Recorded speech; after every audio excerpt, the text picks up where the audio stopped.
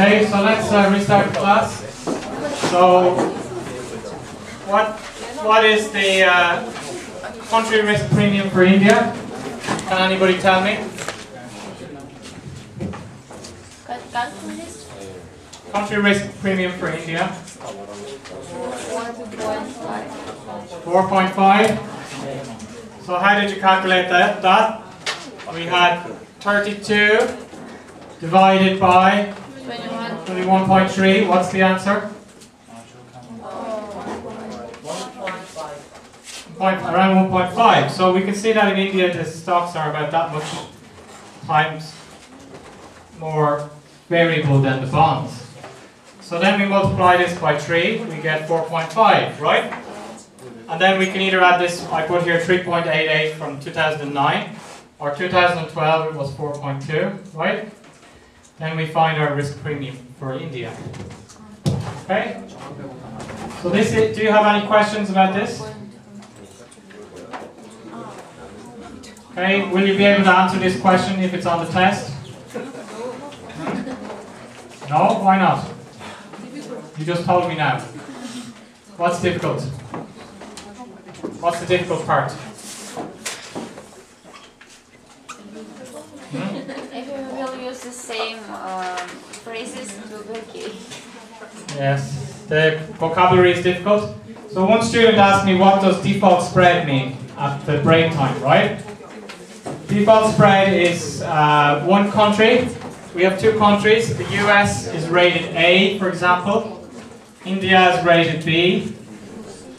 So, which country is more likely to default? Do you understand default? India is more likely to default. Default means not to pay back all of the money. Okay, so India is more likely to default. How much more? Can we put a number on this? How much more likely is India to default than the US? If you look up here, what percent? 50% more likely? Do you think the Indian government will default? No? So what percent more likely than the US? 3%, right? We can see here. Default spread based on rating, 3%. So this is the, this default spread. Default spread is how much is the difference of the chance of defaulting. Okay? How much is the difference of the chance of defaulting between our country and a very safe country like the US or Germany? Okay? AA rated country. So the default spread for B is 3. For C, it's going to be higher. Okay? So we know our default spread, but this is for bonds. This is for bonds. Okay, so we need to change this to a number for stocks. How do we do that? We find out the standard deviation of the stock market, the standard deviation of the bond market. Which is higher? Which has a high, which goes up and down more, bonds or stocks? Stocks. Stocks. Which has a higher standard deviation, stock market or bond market? Stocks. Stock market. Okay.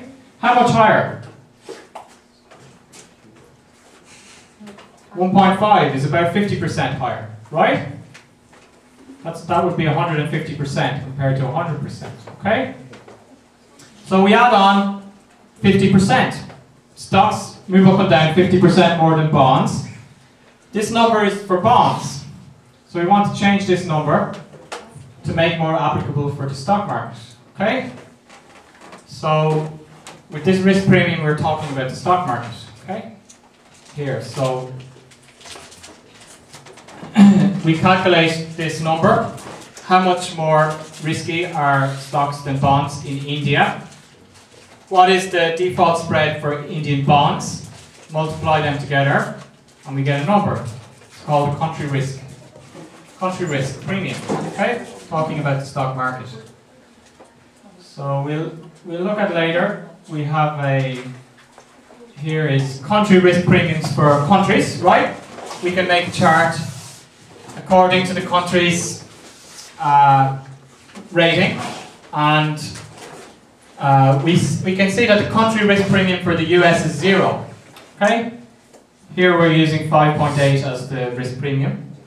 Canada, US, North America, zero. What other countries are zero? Norway, Finland. They have zero country risk premium. Their country is not more risky than the US. Okay? Which country has a high country risk premium? What do you think? Have a guess in the world. What country has a high country risk premium? Stock market is going to be more risky than the US stock market. What kind of country? Tell me a country, any country, you think might be risky to invest your money. Greece. Greece. Greece. Greece in Europe. 10.5% premium. Total 16.3%. Okay? It's quite high. Okay? So this is country risk premium for Greece. So we can calculate the country risk premium ourselves, or we can try and find somebody else who already did that and try and find a chart. Okay? But we should know where it comes from. So we're investing in Greece. We have the European risk-free rate, okay, plus country risk premium for Greece, okay. Then for our individual stock, we'll have our beta, which we'll talk about later. So we talked about the historical way to calculate the uh, risk premium, but there's another way which is also often used, which is more forward-looking. This is, we studied in the time value of money, present value. Do you remember present value? So that's why we studied the time value of money first, because we wanted to understand about right these kind of things. It makes it easier to study now. So we had net present value. So we had in time va in time value of money. In the future, I get hundred dollars. Okay, How, what is that worth today? What do I need to know? So in five years, I get hundred dollars. What do I need to know to figure out what it's worth today? Hmm? Hmm? Interest rate. The interest rate. Okay? So I make my equation and I can say what's this worth today. Okay? $80 or $70, depending on the interest rate. So what we are going to do in this case is we are going to look at what is going to be the future value of the stock market and what's the, change that to a net present value okay then find out what find the interest rate find the interest rate do you remember that we had one question to find the interest rate it was question number four on the exercises was uh, we have 300 bond 300 today it's worth 1000 after 10 years okay Today it's worth 300. What's the interest rate? Can you, what was the interest rate? Can you remember? It was about 12.8%. Can you remember how you calculated the interest rate? You took the equation and you solved for R, right? Present value equation. You have your present value, you have your future value, find R. Okay? The answer was 12.8%. So that's what we're doing here. We're saying this is going to be the future value of the stock market. Okay? This is the present value of the stock market. So what is R? Then R is our premium. Okay? So for the interest rate, we are going to use the risk-free. Okay? Or sorry, uh, we'll use the risk-free as a growth rate later. So let's have a look at an example. It's a bit clearer. So First of all, we find our average yield between 2001 and 2007 of dividends because we want to get an idea of what the dividends are going to be. When we look at the future value of our investment, for bonds we, ha we have uh, we could have a coupon. In this case we didn't have a coupon, but we could have a coupon. Okay, but for stocks we have dividends. Dividends and stock price increase. There's something else we can think about in stocks as well, and that's called buybacks. A company buys back the stock, okay? It means that you're going to get paid more, a higher share of the profits. So less people own stocks, you can have, uh, the company buys back stocks, it's taking away stocks, right? Rather than issuing stocks. So it means that you can share in a higher portion of the profits. So we, we add up the dividends and the buybacks for each year, and we find out that the average dividends and buybacks between 2001 and 2007 was 4.2%. So we are going to say that we are going to have, uh, if the average of dividends is 4.2%, 0.2%, we're going to use this for the future to make a prediction. So January the 1st, 2008, the S&P 500 is 1,468. Okay? 4% of this is 59. So we expect to get the dividends of 59 here. Okay? Then the next year, uh, we expect that the uh, dividends is going to be growing. Why? Because analysts, analysts expect earnings to grow 5% a year. Experts expect companies to make 5% more profit every year. So therefore the dividends will grow 5% a year. So this year it's 59, right? So we go on, it goes on growing at 5% a year for the next number of years. After year 5, we assume the earnings will grow at 4%, the rate we calculated here. Okay, so we listen to the analysts for these five years, and then we use this number to estimate after five years. So then we make a calculation.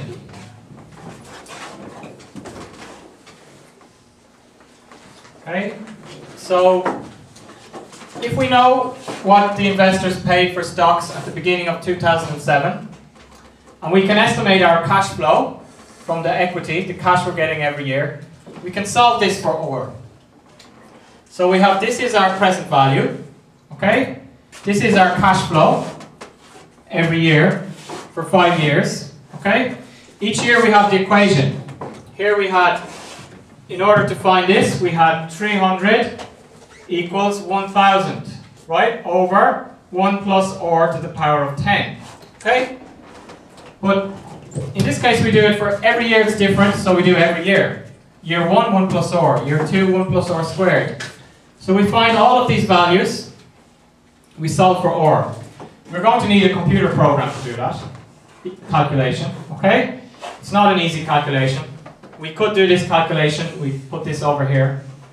But we have to find out what's the number for OR here. It's not easy. We can use a computer program. So you don't need to be able to do this calculation, okay? I just want you to know where it comes from. We're finding OR, just like we did in this case. We know the present value, we know our cash flows, we know future value. Find OR find the interest rate. Okay? So we find out that our expected return on stocks is 8.3% when we do that equation. So then we have to take away our uh, T-bond rate and we get 4.3%. Uh, because this is a premium that we're doing in the equation.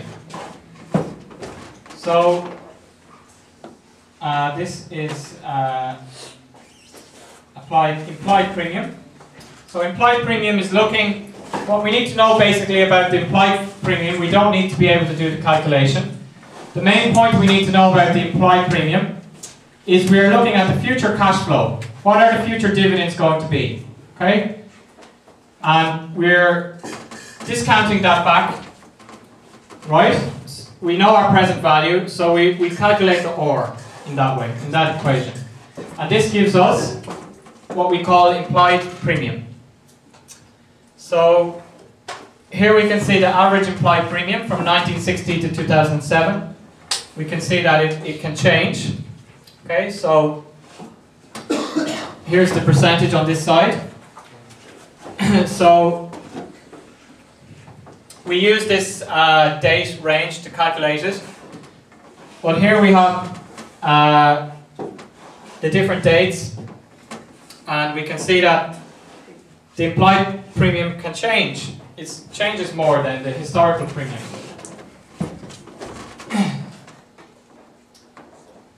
so in May 2009 the number for the risk, equity risk premium for the mature markets was 6%.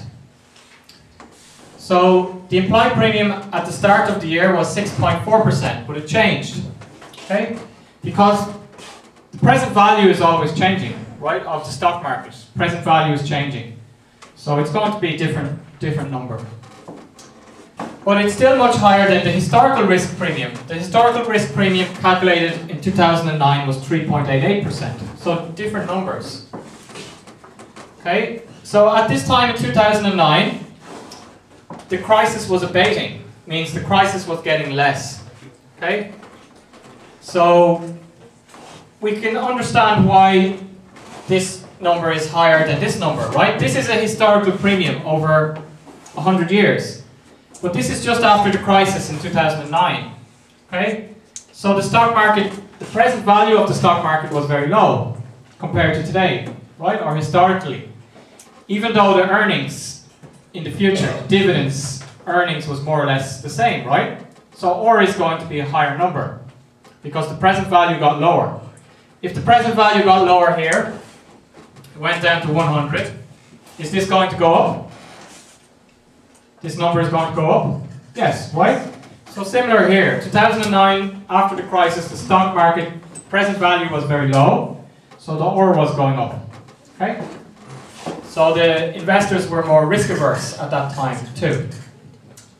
So even though the companies offered, still offered a high profit, people didn't want to buy their stock. They were risk averse. Okay?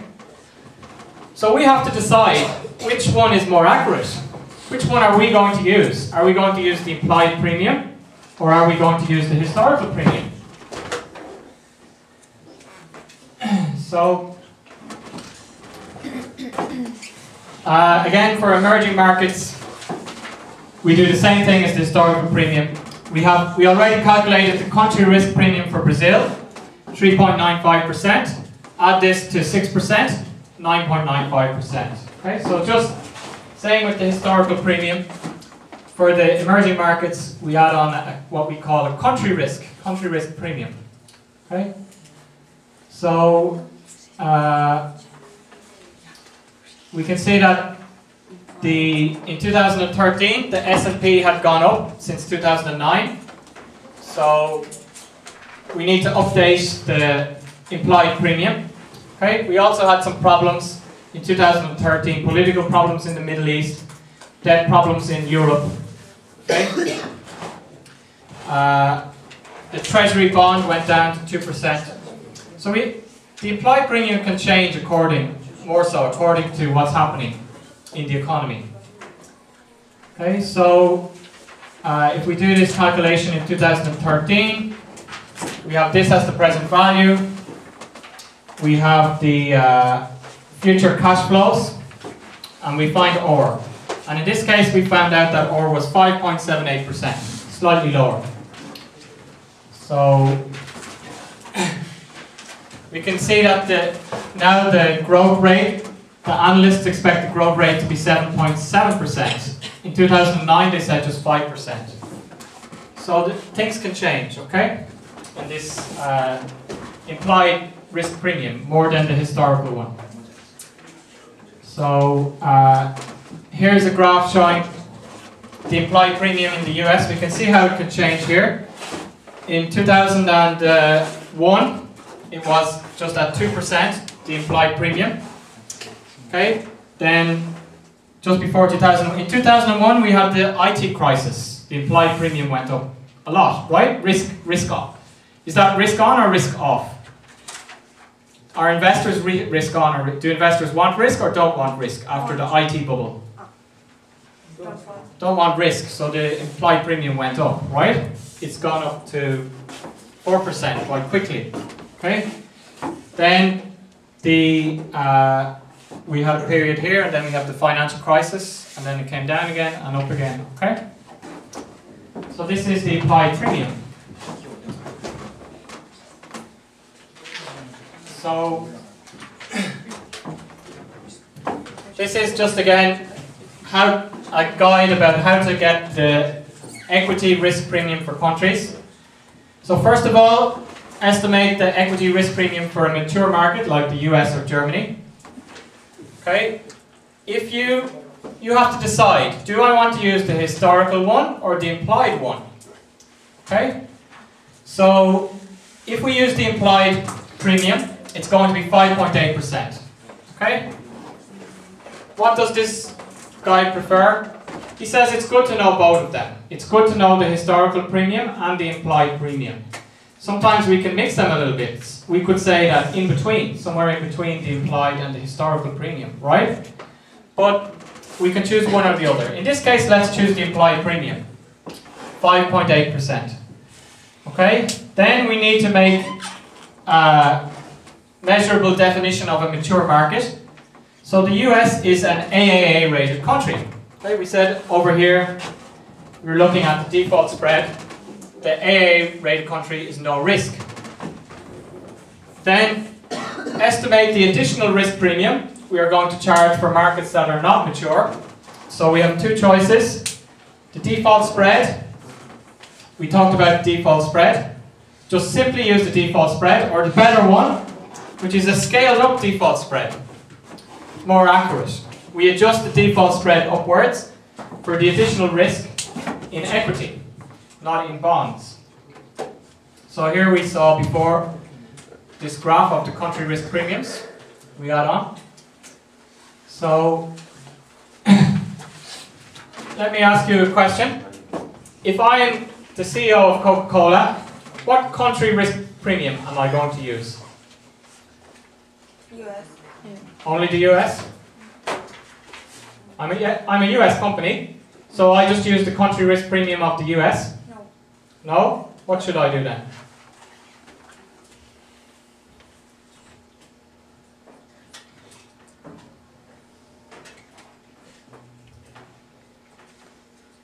Analyze in what countries you sell more. Yes, right? Where am I doing my business? Where am I investing? Where am I selling my goods? Let me give you an example of a US company which does 10% of its business in the US, a real estate company, construction company, and does 90% of its business in Egypt, construction in Egypt. Which is affecting the profits of this company more? The economy in Egypt or the economy in the US? The economy in Egypt, of course, right? So if we're saying how risky is it to invest in this com company, should we be looking at the country risk premium for Egypt or the US? Egypt. So which is more important, where the U company is registered or where the company does its business and gets its revenues? Where does business? Where it does business and gets its revenues, right? That is more important.